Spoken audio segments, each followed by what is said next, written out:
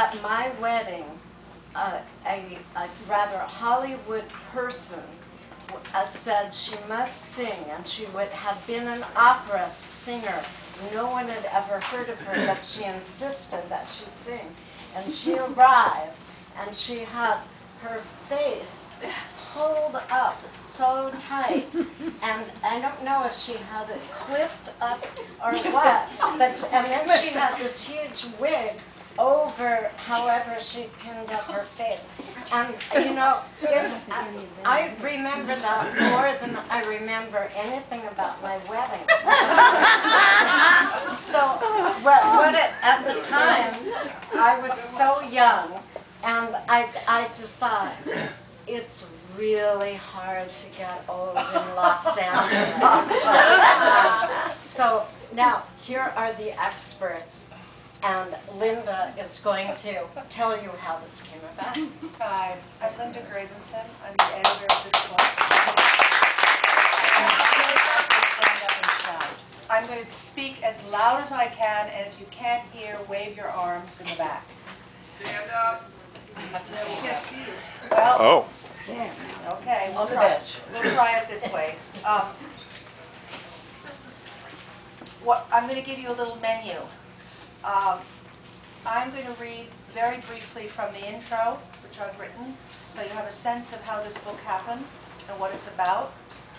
I'm also going to read briefly from my contribution, and then I will turn it to poet Joan Nicholson, Gretchen Haight, Abigail Thomas, and when they've read from their pieces, we're going to have a really lively discussion, because that's what happens at these readings. Not to put any pressure on you, but that's what happens. Okey doke, here we go. When this collaboration began around a coffee table in the Hudson Valley, I was drawn to it from a somewhat different perspective than Emily's.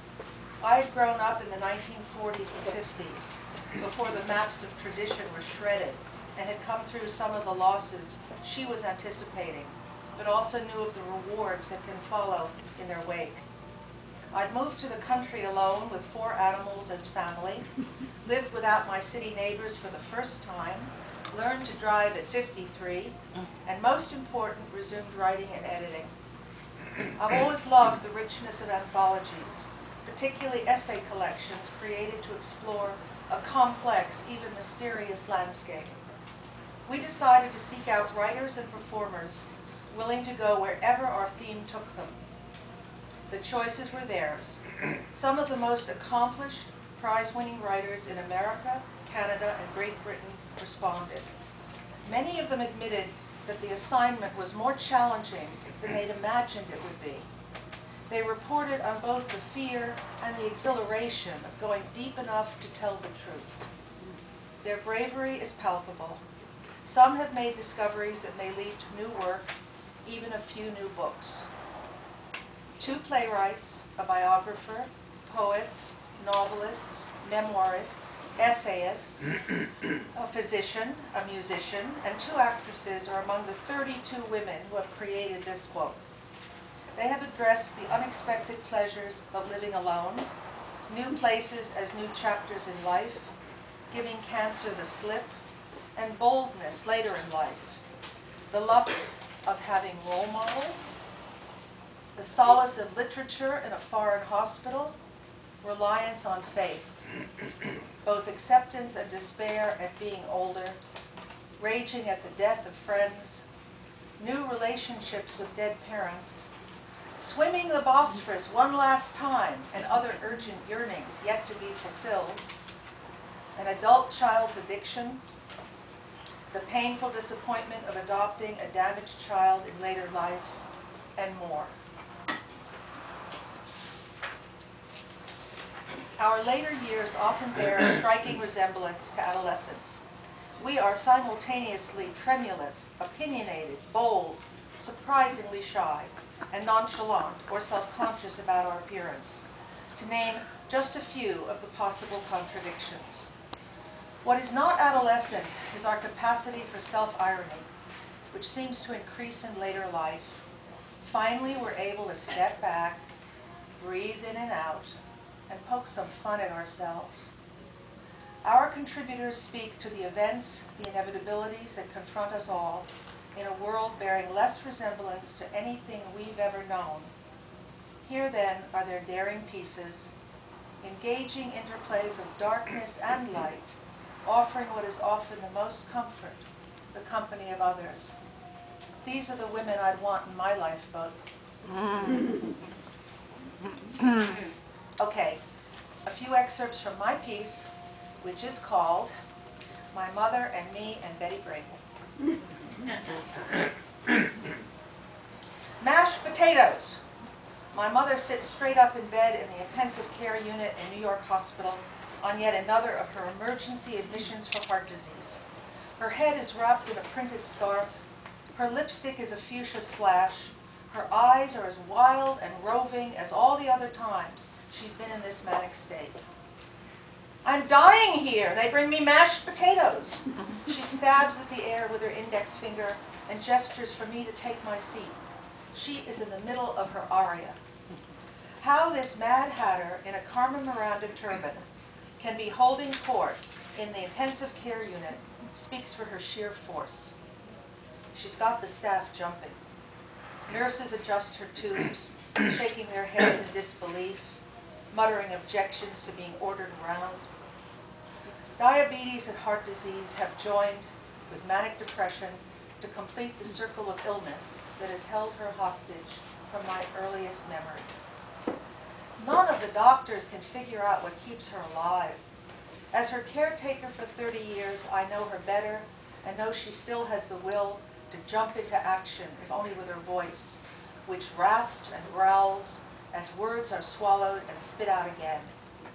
The antipsychotic drug Thorazine has destroyed her once lovely singing voice. Her thoughts leap, dipping and diving as the familiar manic soliloquy takes over. Middle of the movie, Mad Money, that salesman your father, Teddy's daughter. She sneers at the thought of my father and goes on to me. You, you Sarah Lawrence girl, you. The doorman, the doorman, sailing on the Liberté, those twerps. Wrapped in wildflowers I was. Settled back against the pillows, she glares at me. They gave me the wrong baby, she bellows. Her eyes narrowing, aiming for the bullseye, instinctively knowing what will hurt me the most. But probably not knowing she's identified the pain of our long entangled story of my attachment and revulsion, my obstinate wish for reunion that keeps me in her thrall.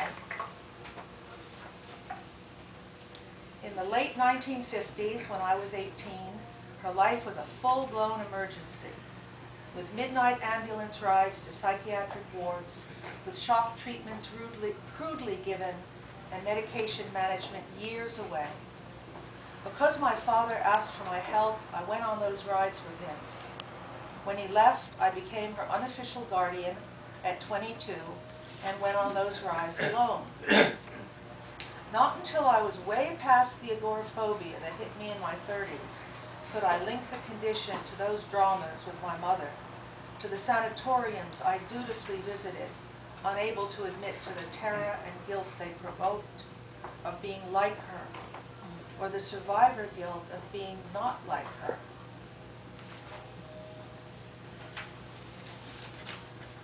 I have to wiggle. Whenever I was tempted to walk away, as my father had, I was drawn back by the binding question, what was illness? What was my mother? Not all manic depressives are as mean as my mother could be, just as not all alcoholics are mean drunks. For 50 years, I've been haunted by the debate. I'm told that in the psychiatric community, the vote is still out on illness and character.